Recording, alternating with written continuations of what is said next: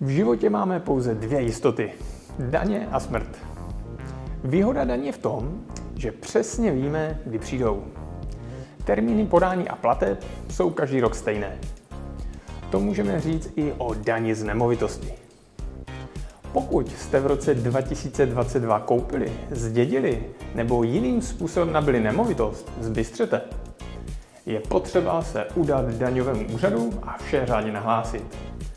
Ne, že by to finanční úřad nevěděl, ale rád to od vás dostane černé na bílém. Mrkněte na článek, který jsme pro vás připravili. Jasně a přehledně tam najdete, jak se to dělá, koho dalšího se to týká a jak na to. Tak se zatím mějte a brzy na viděnou.